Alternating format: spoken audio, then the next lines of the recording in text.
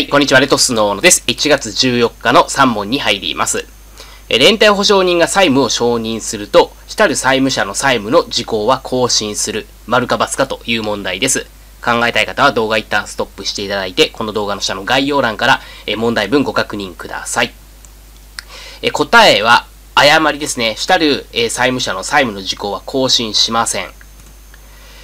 連帯保証人が承認をしたとしても、債務の承認をしたとしても、主たる債務者に影響は与えません。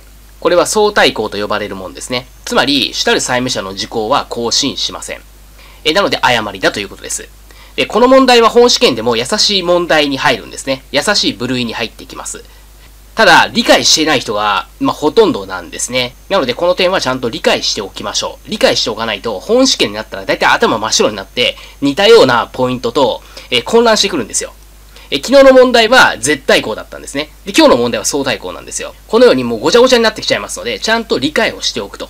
でそうすれば、ボンミスもしないですし、また応用問題とかでも解けるようになってくるんですね。なので、ボンミスしないためにも、また応用問題が解けるようになるためにも理解をしておきましょう。で、どのように理解するかについては、個別指導で解説させていただきます。今のうちから応用力をつけておけば、今年の合格の確率もぐんと上がります。後で焦らないようにするために、今のうちから試験対策をしておきましょう。個別指導については、この動画の下の概要欄に URL を貼っておきます。ご確認ください。で、問いにですね、重要事項説明です。建物の貸借の売買において、水道電気及び下水道は、え完備、都市ガスは未整備である旨説明したが、その整備の見通しまでは説明しなかった。この場合、売買した宅建業者は宅建業法に違反する丸か×かという問題ですね。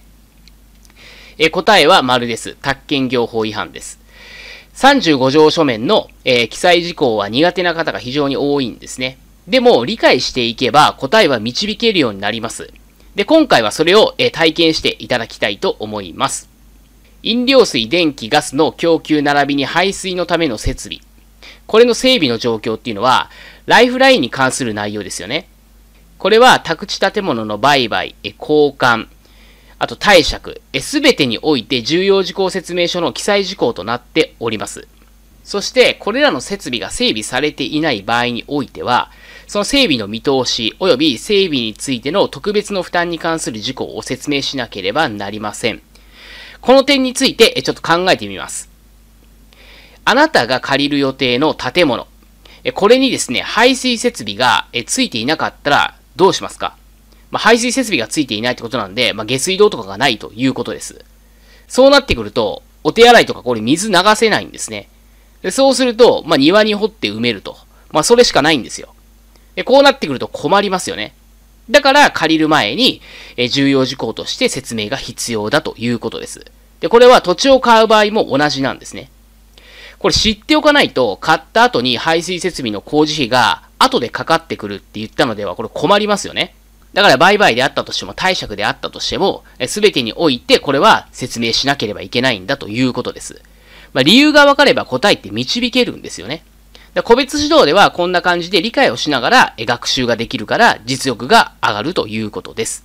で、個別指導についてはこの動画の下の概要欄ですね。概要欄に URL 貼っておきますので、えご確認いただければと思います。